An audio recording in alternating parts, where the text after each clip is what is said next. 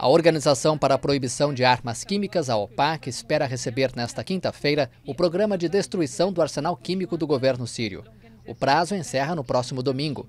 Essa etapa foi prevista no acordo para a destruição das armas até meados de 2014. A Síria havia transmitido anteriormente um inventário das instalações de produção e de armazenamento que estão sendo inspecionadas por especialistas. Depois da entrega do documento, o Conselho Executivo da OPAC vai fixar até 15 de novembro os prazos para a destruição das armas proibidas. Os especialistas já inspecionaram 18 das 23 instalações e começaram a destruir os equipamentos de produção.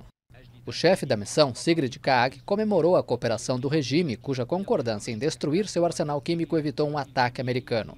A Suécia anunciou nesta quinta-feira que vai colocar à disposição das Nações Unidas um avião militar para contribuir com a missão de destruição de armas químicas da Síria.